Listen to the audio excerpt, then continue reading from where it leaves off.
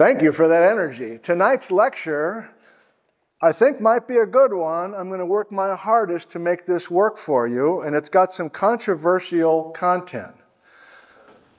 There's the title of the lecture.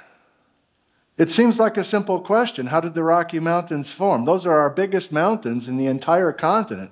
North America, I'm talking about, and our biggest mountain range. How did the Rocky Mountains form? Now, I don't live in the Rocky Mountains. I went to graduate school in the Rocky Mountains, but that was just three years. So, why am I the person to give this lecture on how the Rocky Mountains form? You'll see, I think, because I've been learning some things not only about the Rocky Mountain geology, but also the geology west of the Rocky Mountains here in the Pacific Northwest that is part of trying to answer this question. But I'm ahead of myself already. Let me start by saying, I teach Geology 101, and I have every quarter for 35 years. That's a long time now. Every, oh my God. Okay. Thank you, sir. Yeah. That's, that's my main gig. I teach 101, and I still enjoy it 35 years later. And the way I always teach it is the first half of the class, I ignore plate tectonics. It's kind of an unusual thing. We work on geologic time and different kinds of rocks and the rock cycle and global climate and, and uh, ice age floods and all these kind of passive type things. And then, halfway through the class, we launch into some plate tectonics, and suddenly things are coming to life and continents are moving and Pangea and everything else. And right there in the middle of that class, midway through the term, we have a lecture on plate boundaries and how mountains are formed. And we go around the globe and we talk about how certain mountains are formed. And not all mountains are formed equally. So let's flip you around. Let's do a very, very quick version of that plate boundary lecture. Fast paced. Ready? Here we go. There are places in the world where, in a side view, you have two big continental blocks. Here's the sun shining above them, and they are moving towards each other, and it's a collision. It's a convergent plate boundary. So these two continents are on two separate tectonic plates that are on a collision course. And these don't just gently kiss each other, they smash into each other. They create folded sedimentary rocks. They create dynamothermal metamorphic rocks. They create some plutons in the middle. It's a non volcanic mountain range, and the best example worldwide of this convergent continent versus continent collision are the Himalayas. Mount Everest, the highest point above sea level here on this planet. This is the story for the Himalayas. Everybody's taking their notes. Himalayas. Where is that? I don't know. I'll, I'll, look it up. It's the subcontinent of India that's colliding with a bigger continent called Asia. Uh, and, and it's an active collision today. There are terrifying earthquakes that continue to happen at this boundary because of this ongoing collision. India against Asia. Geology 101. Oh, there's other kinds of mountains in the planet? Really? They're volcanoes? That's right. Okay, well, we need a different picture for that. I think everybody in this room knows this, but I'm just reporting on what the basic, most basic, most basic, why say that three times? Picture is for different kinds of major mountain ranges around the world. Okay, now this next picture we have an ocean next to a continent. We still have a collision. These are arrows. This is ocean floor that's subducting or diving beneath the continent. Magma is generated in that subduction zone, and we create a volcanic arc a line of beautiful stratovolcanoes, one after another, down the west coast of South America. Anybody know the name of the mountain range? Silence in the room. They're Americans. Okay, fine. It's the Andes. It's the Andes Mountains. Oh, okay. Andy. Good, good. It's also possible to create a mountain range completely underwater with the plates going away from each other. That's a divergent plate boundary. This is water, this is sea level, here's a boat. And the Mid Atlantic Ridge or the East Pacific Rise are the result of that sort of tectonic situation. That's the core of the lecture. Boom, boom, boom, three different ways to make mountains. And usually a hand goes up about the time we're wrapping up, or maybe they come up after class. And it's usually a good student. And they say, I think you forgot about the Rocky Mountains, didn't you? I kept waiting for you to talk about the Rockies. And I'm like, I didn't forget about the Rockies. Uh, I purposely didn't talk about the Rocky Mountains today, young lady. We have to wait till the last week of the course to talk about the Rocky Mountains. And there's always a weird, confused look like, why? You were just talking about all these major mountains. Our biggest mountain range, the Rocky Mountains, North America, which one do I pick? And I say, we're not ready. It's complicated. and it is complicated. And that's what we're going to lean into tonight. And it's more than complicated, it's controversial. There's a question mark in the title of the lecture tonight. That's on purpose.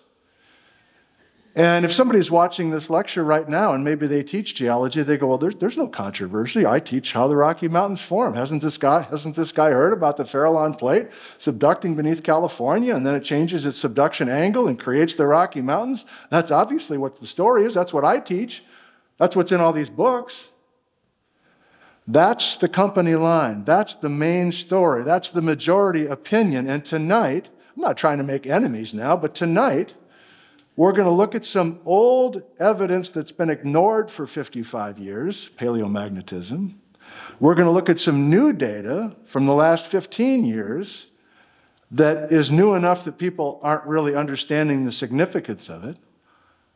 Mantle tomography.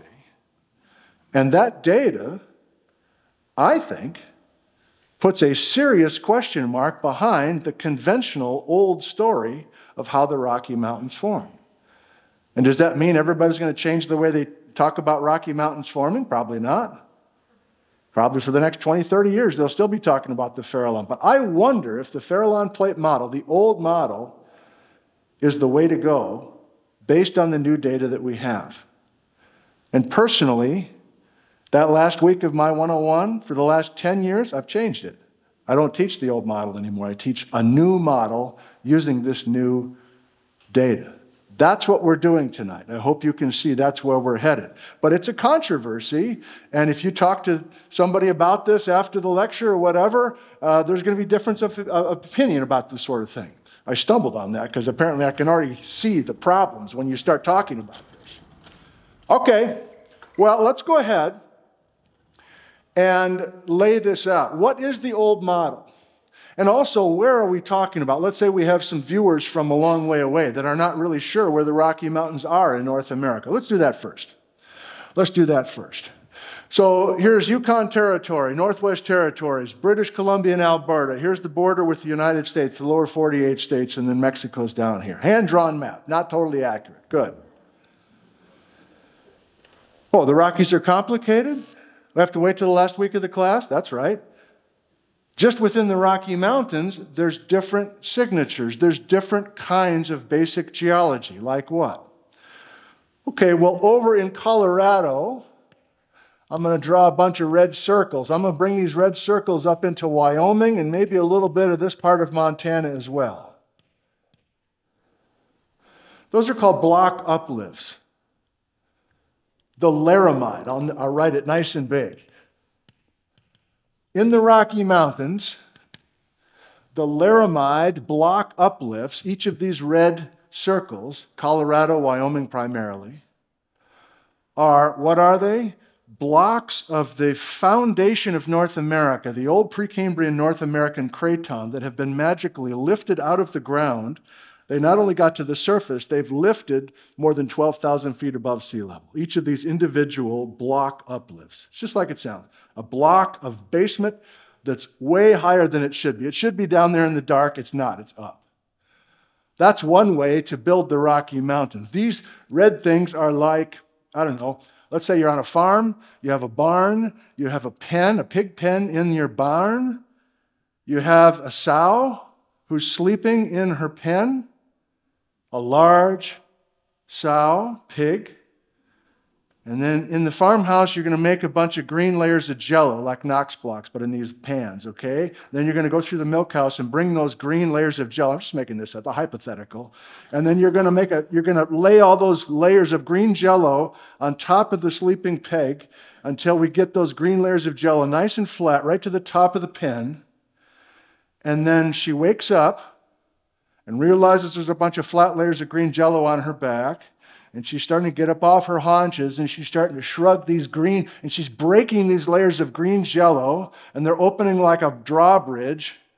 And we can see her back now, a hog back, and we can get her back up above the level of the pen. That's what these are. These laramide block uplifts. I'm off script, apparently these pigs rising and these drawbridge things, these are the sandstones that are being pushed away to allow this Precambrian metamorphic rock to come to the surface. That's one style of Rocky Mountain uplift. It's complicated. Oh, but there's Rockies in Alberta. There's the Rocky Mountains in northern Montana, in parts of Idaho, Utah, even down into northern New Mexico. Are those pigs coming up? No. That's a totally different kind of geology that also is part of the Rocky Mountains. Let's use a different color. I guess green. I don't know why. These aren't pigs. These are lines that are thrust faults. And you'll notice the pigs don't continue up into Alberta. It's just green lines up here. The green lines are thrust faults, and thrust faults are faults that have a low angle to them, and you can shove layers of sedimentary rock up these low angle ramps like a frozen pizza box. And you can take that frozen pizza box and shove it over the one that's above it and below it.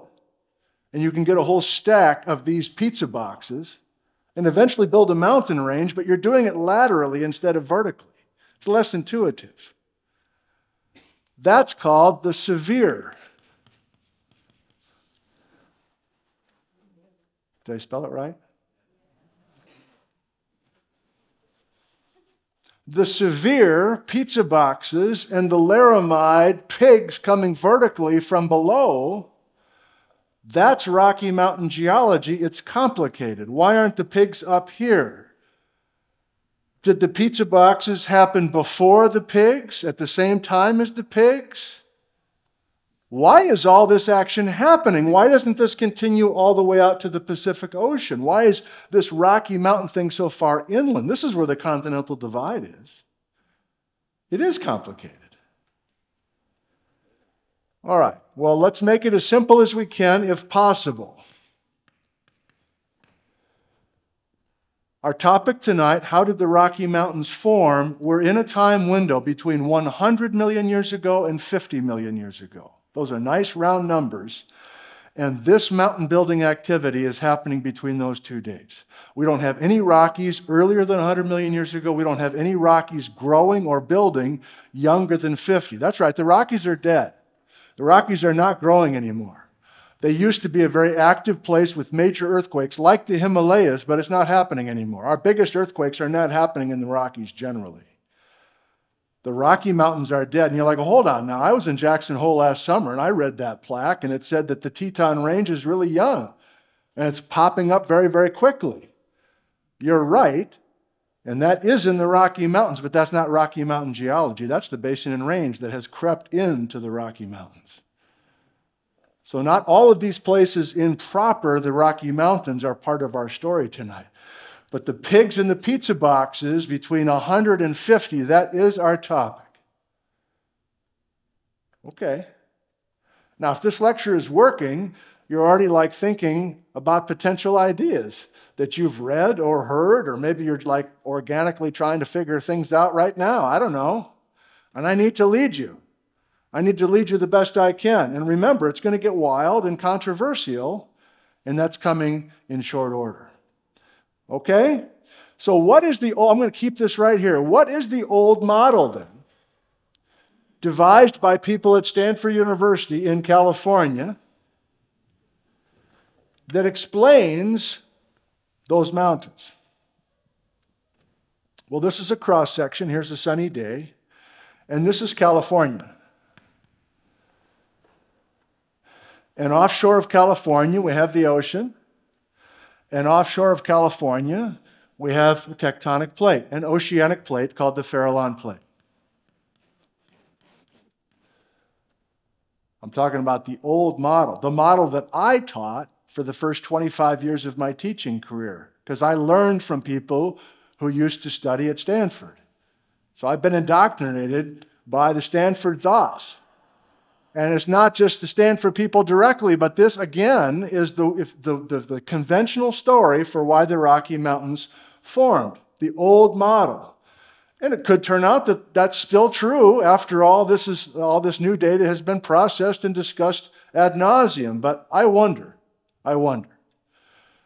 Okay, so we have a, this is just like the Andes, isn't it? This is what I just draw at the beginning of the lecture. We have an oceanic plate subducting to the east, diving beneath California, and this nicely explains the coast range of California, a subduction complex or an accretionary wedge, the Great Valley of Central California, a forearc basin, and then a beautiful volcanic arc, just like the Andes, just like the Cascades in the Pacific Northwest. Heard of it? And those volcanoes have magmas feeding them, and the, the magmas are being generated deep within a subduction zone. This is Geology 101. And the old model to explain the Rockies, which we haven't built yet, devised by people in California 55 years ago, 60 years ago now, 50 years ago. These magmas were active and hot between 120 and 85 million years ago. So, to tell the story, the conventional story of how the Rocky Mountains formed, we start with California, we start with the Farallon Plate dipping at a relatively steep angle, generating magmas, and creating the Holy Trinity, the, the California Triad one, two, three, a beautiful signature of an oceanic versus continental plate boundary. Haven't built the Rockies yet. Now, in this old model, something happens 85 million years ago. And that's because all of these Sierra Nevada batholith rocks solidify, they freeze. And the volcanoes, you've been to Yosemite, there's no volcanoes there. Those are magma chamber rocks. So at 85 million years ago, we shut the whole system off. And that's the data, that's, that everybody agrees with that. So we've locked this system off, it's dead. But the old Farallon plate model says at 85 million years ago, the activity moves east. And guess what we start doing between 85 and 50 million years ago? I should use a different color. We start doing pizza boxes and pigs. And you're like, I don't get it. The Farallon plate's over here. What's that got to do with the Rocky Mountain activity way over here in the heartland, essentially? This is Colorado and Wyoming, and the Uintas in Utah and Montana. Well, the model says it's pretty simple. Don't overthink it.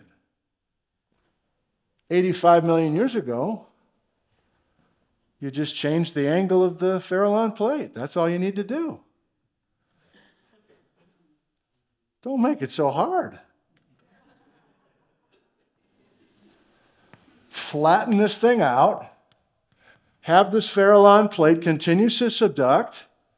It starts tickling the underbelly of the heartland and it fuels this pizza box stacking. Again, each of these are thrust faults, so we're shoving large section of crust eastward.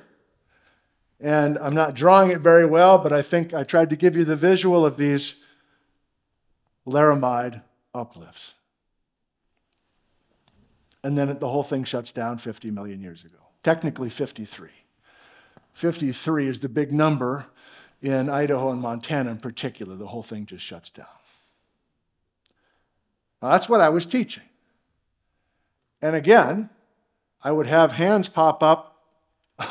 the, the, the, student faces and names would change from quarter to quarter, but you knew when the same question was going to come up every quarter. Like, why did it stop 53? The Farallon plate go away? I'm like, eh, not sure. Why did it, why did it change its angle? 85. So each time I would teach it, I'm going, boy, I don't, I don't know about this but yet it remains the majority opinion.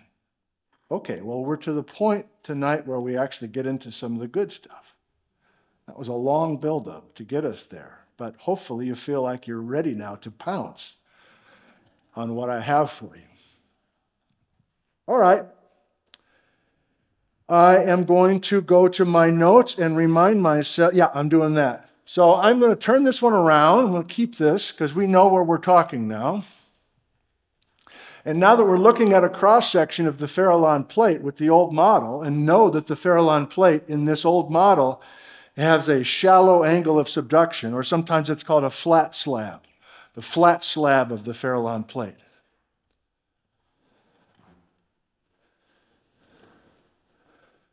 We're going to start talking about seismic tomography and looking deep into the earth into the mantle of the earth where nobody's ever been, but looking at earthquake waves that are going through that mantle material and seeing if we can find anything down there.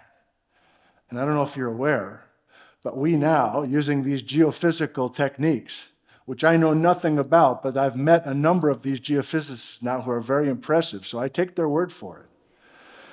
They can find ocean plates that have subducted. They're still down there, they're still a thing in the lower mantle, in the upper mantle. I wasn't taught that 30 years ago. I was taught that the ocean floor just goes down and it changes state, whatever that means, and it just goes back into the asthenosphere and it's like gone forever. Well, now we can find these slabs, these pieces of the ocean floor. And what's the obvious question? If this model is accurate, let's go find this thing. Let's go find this flat slab Farallon. It must be down there if we can see these slabs. All right, so here's, oh, I need to budget my space here. So here's the old time stick that I used in, uh, for teaching, but on the back of it, I've drawn North America. So this is North America. Seattle is on the west coast. New York City is on the east coast. Chicago is about right here. Okay, I'm going to use this. And not bad. Okay? Great. It's a cross section. This is also a sunny day. I'll, I'll put it on. Why not? Seattle, New York City. That means this is the Atlantic, and this is the Pacific. Why even bother writing? You can't read it. Okay. What does the data say? Can we find this old Farallon plate in the mantle? The answer is no, it's not there. It's not there. Not even, not even a hint of it. And that's new data we didn't have in 1970. Now, if we had that data in 1970, would we have had this flat slab model? Maybe. Maybe they would have been just as stubborn and just said, yeah, it doesn't agree with my model. I'm just going to pretend it doesn't happen. I don't know. But we didn't have that data back then. We didn't have the paleomag button. That's a whole other story for tomorrow night. So if we have found slabs, you know what I'm saying, ocean crust that has subducted and is down there, what does it look like? Well, there is some ocean slab that does kind of look like Farallon. That's promising, but I thought I just said it wasn't there. Well, this is way too young and too shallow to be our Farallon from this story. Because remember, this is a story happening between 150 million years ago and, truth be told, before that, going back 120, 130, 140 million years ago. So we don't have the sloping Farallon plate that we should have with a drifting, gradually North American plate and a moving trench we should see just kind of a beautiful angled Farallon slab going all the way down to the lower mantle, and we don't. What we did find 15 years ago, underneath New York City, underneath the east coast of North America, between 1,000 kilometers depth and 2,000 kilometers depth, in the lower mantle, we found this. I'll do it. I'll do it like this.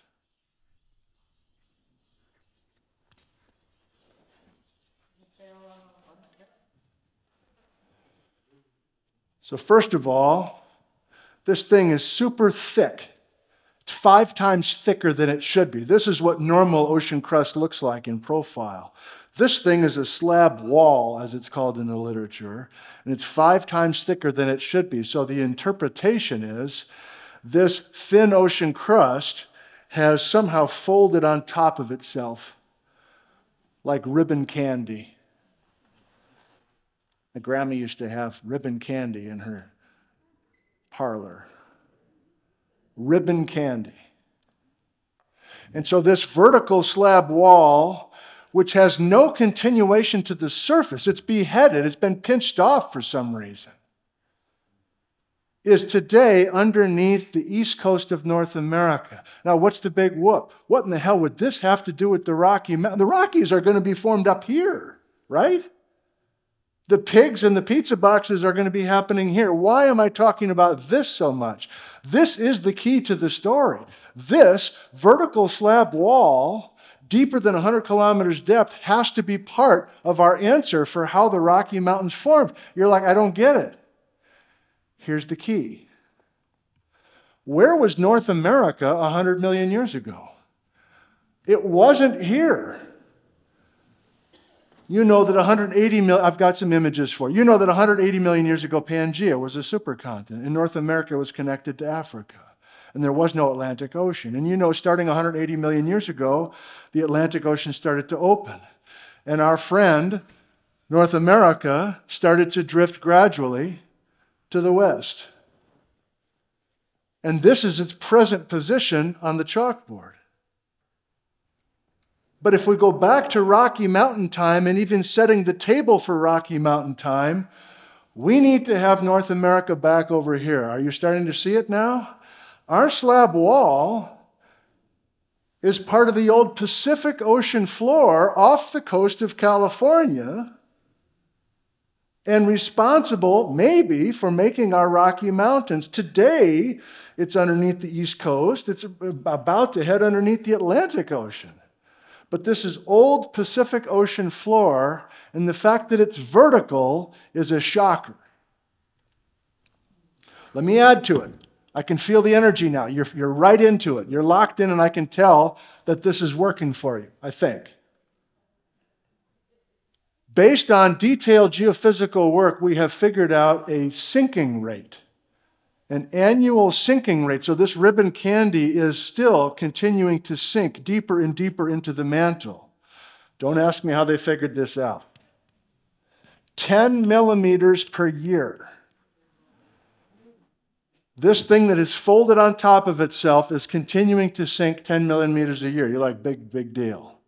Well, can't we go back in time and if we go back in time, we're not only moving North America back to where it came from, but can't we also then get this ribbon candy straightened out and eventually lay it out where it used to be on the Pacific Ocean floor? The answer is yes, that work has been done. And so now we're not just guessing about an old, what this ocean plate used to look like and what it was doing. It's frickin' there. It's not the Farallon, but it's something that was oceanic, that was somehow being subducted. One more point, and then if you're like, get on with it, what is the answer? How does this, what is, how does this work? I got one more thing for you. Because it's vertical and because it's folded on top of itself, the interpretation is this is a fixed oceanic trench. This is not a diagonal slab with a drifting continent with a drifting trench. Can you see this? Instead, the only way to make sense of the geometry of this thing sinking vertically and folding on itself is you have to have a fixed location of where the subduction was for tens of millions of years. So that doesn't really work with what we know about North America. We know the journey of North America, it doesn't stop and hang out. North America's edge, and therefore the oceanic trench off the coast of North America, has been drifting. Impossible to explain this.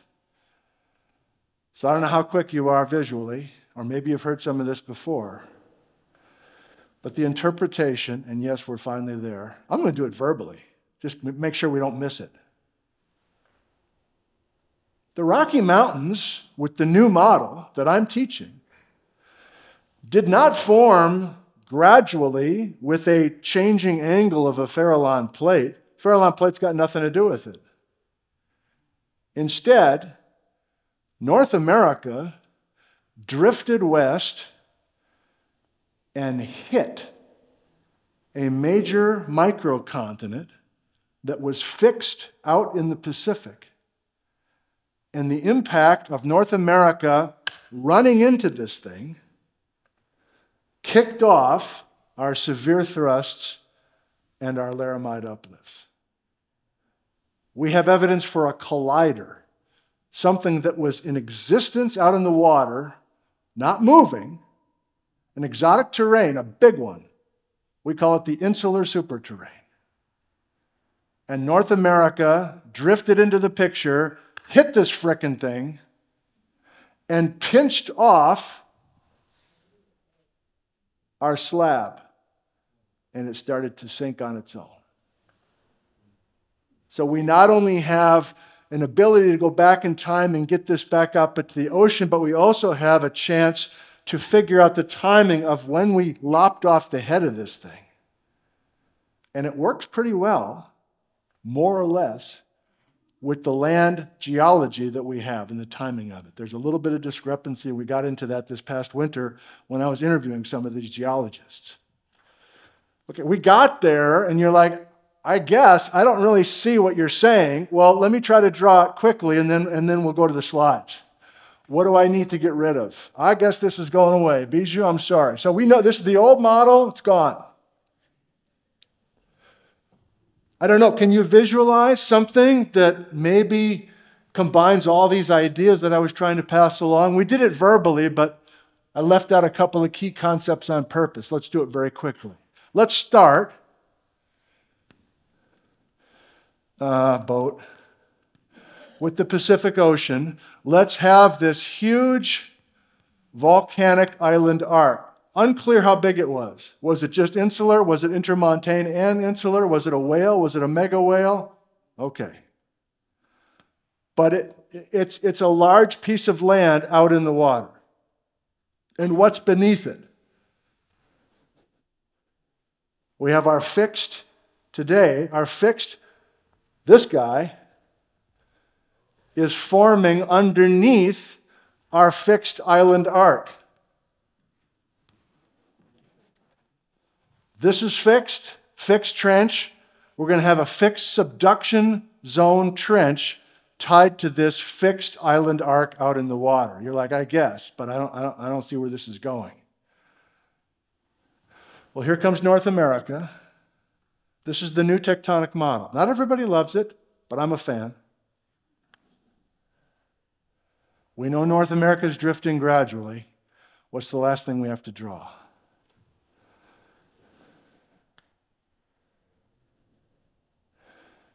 We don't have a big subduction zone at the coast of California. This is California. We don't have a big subduction zone at the edge of California. We have a continuation of continental crust to ocean crust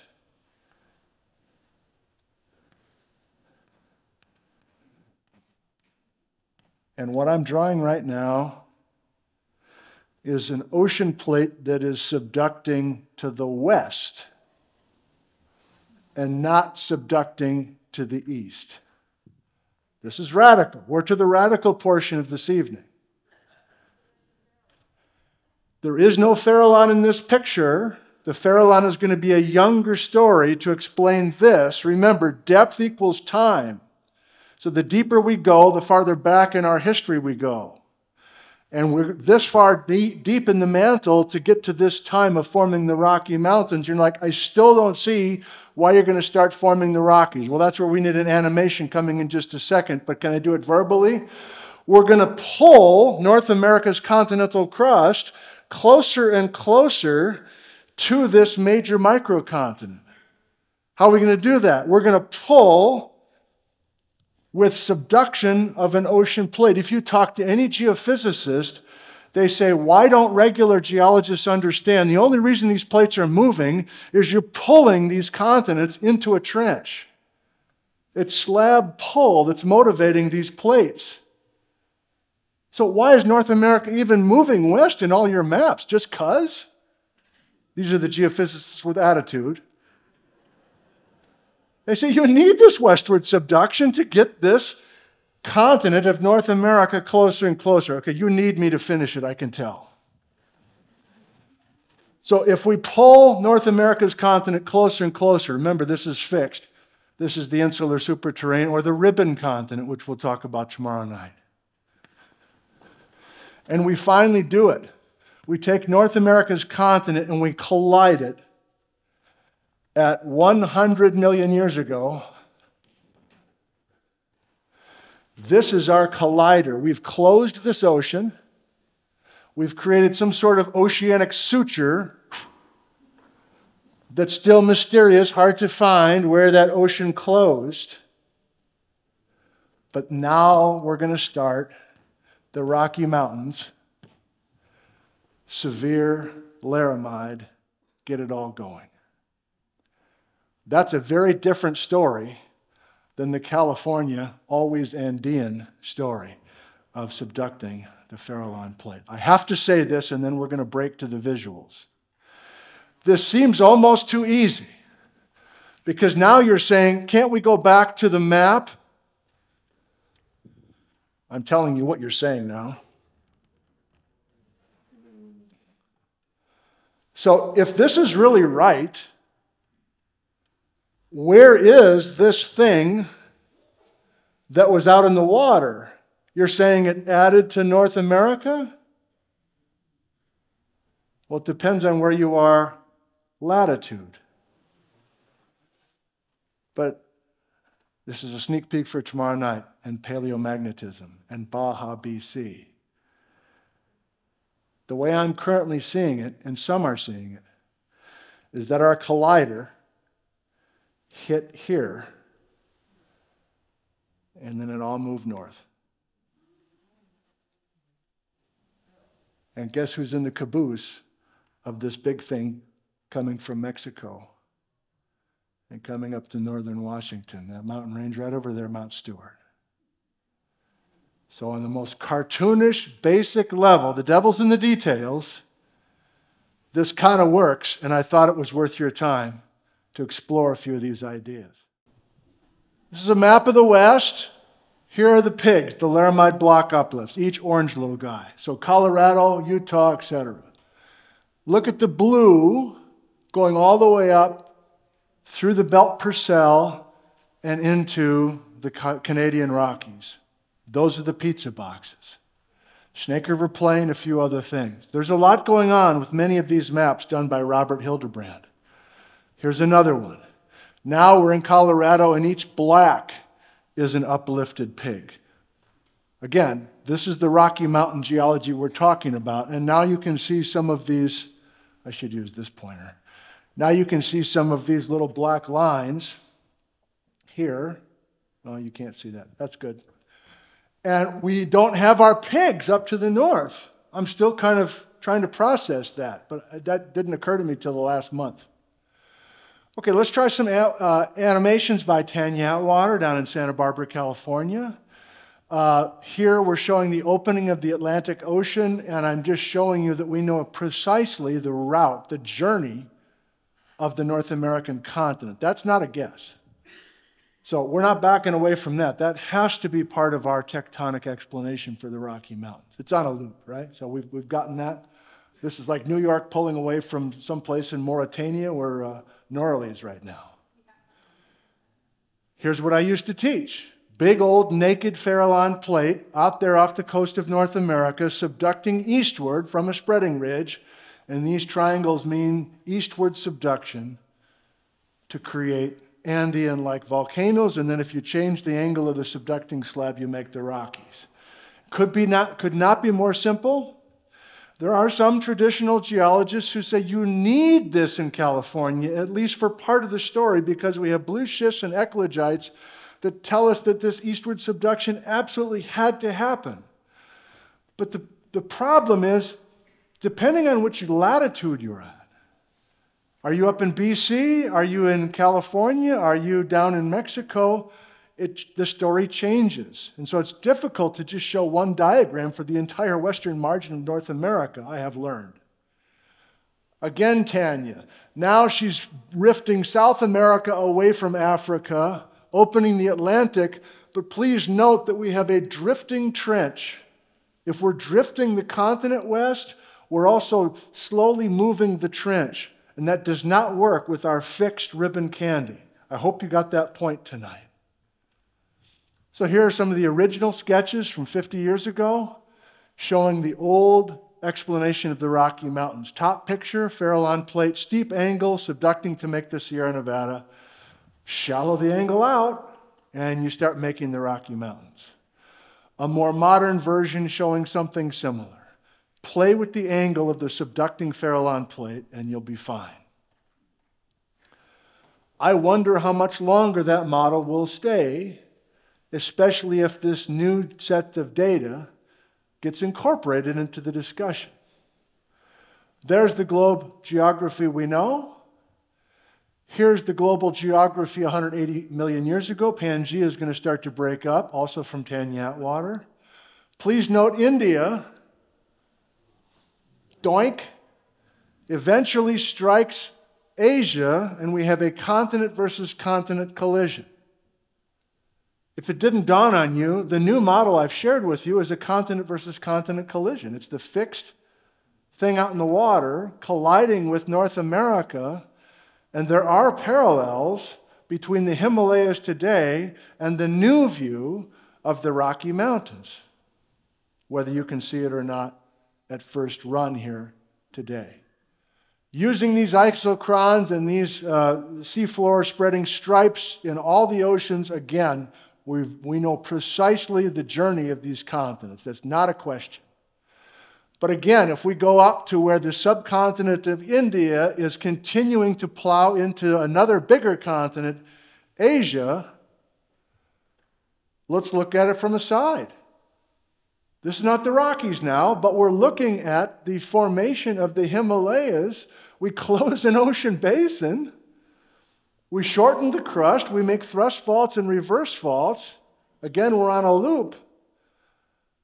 But we're getting away from a tectonic model. I am tonight of a convergent oceanic versus continental plate boundary with the Farallon, and I'm going to something like this. So, if we did have mantle tomography showing a steady Farallon plates subducting beneath western North America. This is what we expect to see then, and we do not see it. It's not there.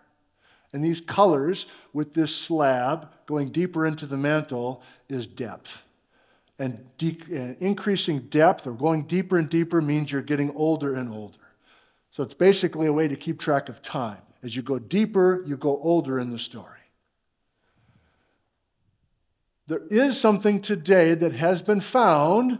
There's Yellowstone National Park over to the west coast of Oregon. And again, there is a slab that does angle, so that's promising. That does kind of look like the Farallon, and in fact, it is the Farallon. But it's too young for our Rocky Mountain story. That's a subducting eastward area that was younger than the Rockies. So here's me saying, What's up with this? We tried verbally and chalkboards. Let's try it now again here. Yeah, we're way the hell down here between 100 and, uh, excuse me, 1,000 and 2,000 kilometers depth in the lower mantle. Our ribbon candy folded on top of each other, vertical. Playground slide, ribbon candy, or whatever you want to call this. So now it gets complicated. I don't expect us to get everything here. I'm not sure I get everything here. But here's North America drifting west. Here's our featured slab wall at different places latitudinally. And I want you to notice up high westward subduction, closing an ocean basin between a fixed island arc and a drifting west coast of North America. Another way to show the same thing. And here we're pinching it off when we collide at 100 million years ago. Okay, here's what I haven't done with anybody, even uh, from the classroom recently. I've taken these images from Edward Knuet, who's a student of Karin Sigloch, and uh, we'll give this a try. I think I'll try it twice. Dates are in the upper left, 200 million years ago. Again, our colors are depth of these slabs, but this is a map now. This is not a cross section. And what we're going to do is we're going to take North America when it first breaks apart from Pangaea and start drifting it to the west. Again, we know that. And I'll try to narrate as we go. I'm advancing with my thumb. Ready? 195 million years ago, 190 million years ago. Nothing happening yet, except we're bringing North America. Uh oh. Oh, what? What? What? As we get younger and younger, we're seeing it's more than one island arc out there. I'm focusing on one major one that we're going to hit. But this model that's been developed has found other ribbon candies at different levels in the mantle. And so as we advance through time, we're seeing, first of all, that each of these colored lines is a subduction zone. Some of them westward subducting, some of them eastward subducting. Think of each of these as a fixed island arc out in the water. And again, North America is encroaching with each passing slide until we finally start running in to the big one. But there's a couple others that I have to be totally honest, I still don't understand where those rocks are today. Where are those accretions? Are they up in Canada? I'm not really sure. But I'm going to pick it up now. 100 million years ago, we run into the thing, and now I'm hoping you see North America is now drifting over this stuff that's sinking vertically underneath. You're looking through a transparent North American continent. And I know the colors get muddled now. I'm going to do it again real quick. You starting to see it? Can't quite tell from your energy right now. Let's try it again. I'm just going to go faster. Basically North America is a see through boat. North America is coming in from the right, drifting over these things that are not moving. Okay, uh, I'm going to do it one more time. Now I'm going backwards in time. We're getting back North America back to connect with Africa. Again, this gray, th- so this light gray is North America's position today. This dark gray, this black, is North America back at the time of this slide. And again, the colors out in the water are these fixed things where the, the, the uh, ocean crest is sinking uh, directly beneath some sort of island out in the water. Here we go.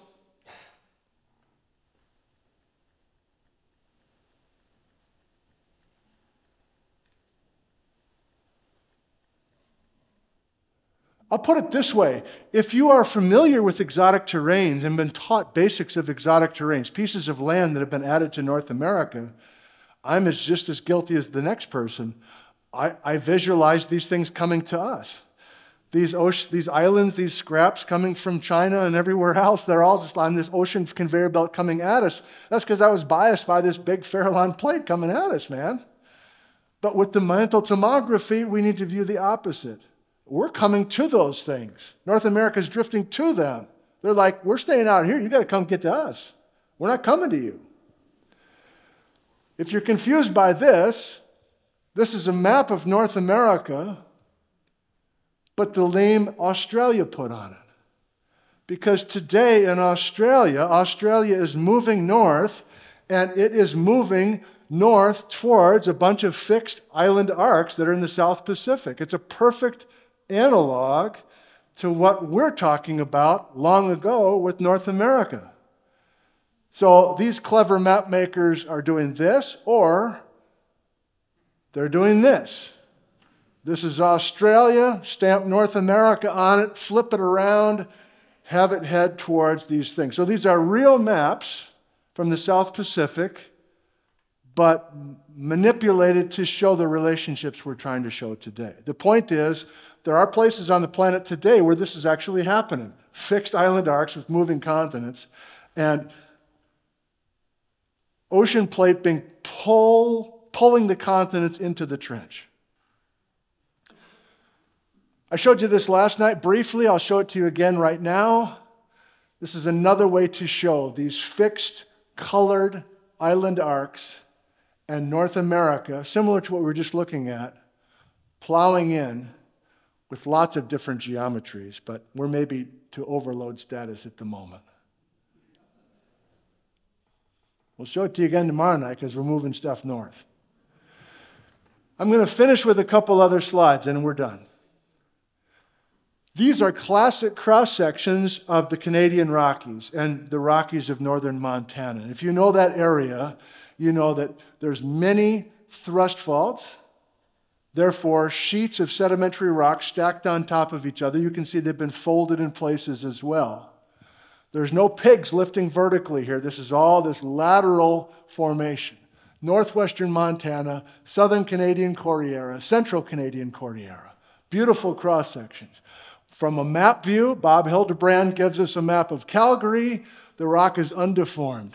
And then here's each of these lines that was drawn on the map showing thrust faults between pizza boxes. Here's probably the most famous of the thrust faults in Glacier National Park, the Lewis Thrust Fault, where Precambrian belt supergroup rock has been shoved up and onto much younger rock, Cretaceous rock. And this is repeated over and over and over again in Montana and Alberta. That's one way to build the Rockies. Who's doing the pushing from the left? If you're listening to the lecture tonight, the new model says who's doing the pushing from the left? The fixed island arc that we slammed into, and we shortened the crust that way. So, one major question is once you get into the Burgess Shale and all these other sedimentary layers that are very fine grained, there's maybe a bunch of details hidden in there that will come up again when studying paleomagnetism. So, I'm setting the table for tomorrow night. But these cartoons are now showing westward subduction and one byproduct of westward subduction, this is going to be complicated and this is backwards on purpose because I want to show you westward subduction. So, this is North America, the, the pink is continental crust. This is North America approaching our fixed island arc. And continental crust in Geology 101 never subducts, it's too thick and buoyant. But in truth, at the true margin of two continents colliding, especially if we're pulling that continent into the trench, you are pulling the leading edge of that pink continent, that Owens Corning fiberglass, down until it finally breaks and we allow stuff to start falling down. There's slab failure, there's magmas generated by breaking this slab as it goes into a trench, a totally different way to make magmas. Too complicated for tonight, but it's an interesting point. And this is an animation also backwards on purpose to show North America coming in from the right, approaching 100 million years ago. Here comes us. Here comes us. We approach 100 million years ago. The leading edge of North America's continent, the navy blue, gets pulled down into the trench. It's continental crust. It doesn't want to go down. But something's got to give. We're going to pinch this thing off. We're going to behead it. That stuff's going to start sinking. And we've got all sorts of complicated geometries at that boundary. I can tell that you like that one, so we're going to look at that again. Now, you can go too far with this and say, oh, I can see the North Cascades now. I can see all sorts of things going down and going up. I don't even know who made this thing. But to me, there's a couple interesting points. One, the pinching off and allowing this stuff to sink below a fixed trench. But that right there, that boinging back up and lurching trenchward, is potentially a very key observation that will be used with bedrock relations in the future with models as they develop. Already looked at that, we're skipping that one. Where is this true suture then between the fixed island arc and North America? Depends on where you look. The leading geophysicists, combined with Canadian field geologists, think that this purple line in the foothills of the Sierra Nevada might be the suture zone. But that's just one group.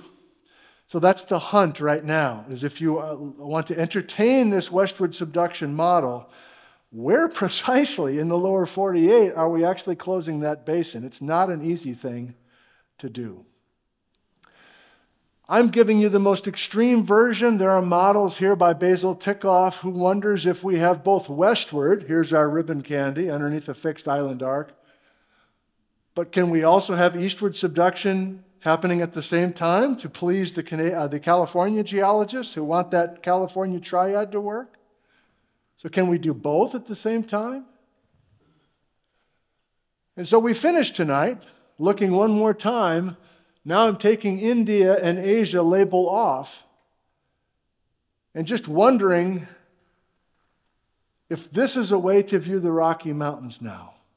With a couple of tweaks. We need westward instead of eastward. That's a problem. And you know the other problem? I mentioned it quickly before we went to the slides. The thing that collided with us is no longer at the latitude of the lower 48 states. It hits us, and then we got to send India out of the picture to the north as we're looking at it.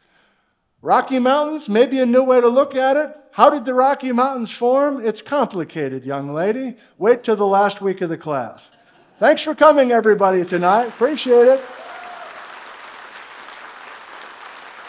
Thank you. Thank you so much.